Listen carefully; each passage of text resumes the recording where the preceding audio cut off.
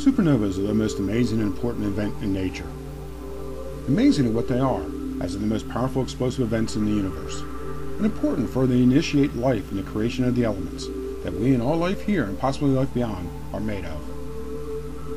Today, more amateurs are seeing an imaging supernova than ever before, thanks of course to the electronic media we have now.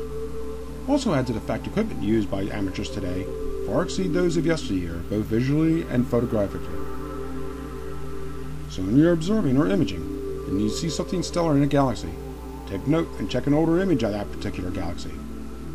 Hey, you never know.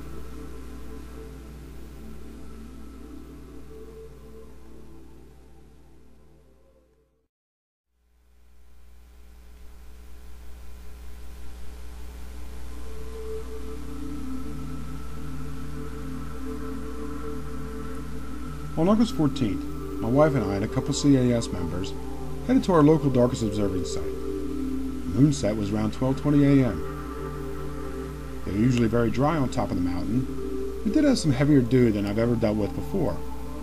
Transparency was pretty good though, as was the seeing.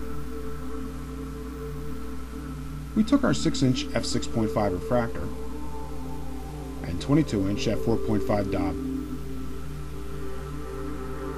as the moon bid us adieu, we first went after NGC 7250 and its supernova with a 22 inch Dob. As I guided the large scope to the area using an 80mm finder, I first found NGC 7248 with a 20mm super wide field eyepiece in the focuser.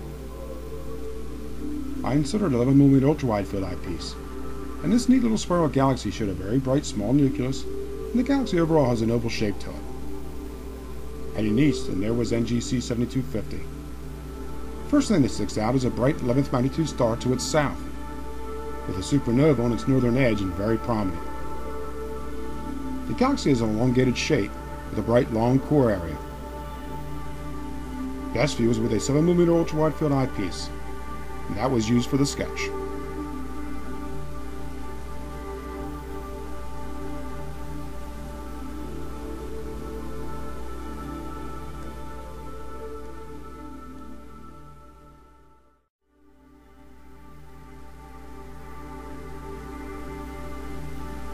Later on, I used the 6-inch refractor for the observation of M74 and its bright current supernova. I first entered the galaxy using a 24.5mm super wide field eyepiece. Inserting a 9mm super wide field eyepiece was used for the observation and sketch. M74 showed a very large, low surface brightness round disk with a slight brightening in the core area. The supernova stood out well in the outer southeast region of the galaxy.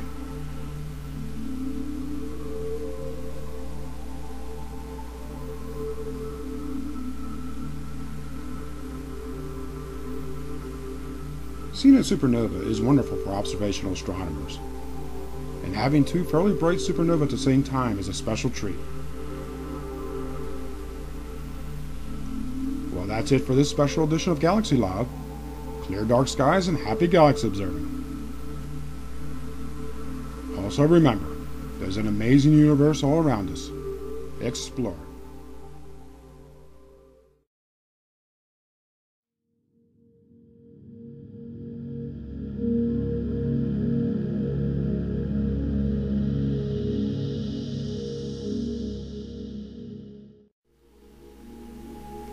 Special thanks to the Chesmont Astronomical Society, dedicated to observational astronomy for more than 25 years. And to the music of Dave Luxton.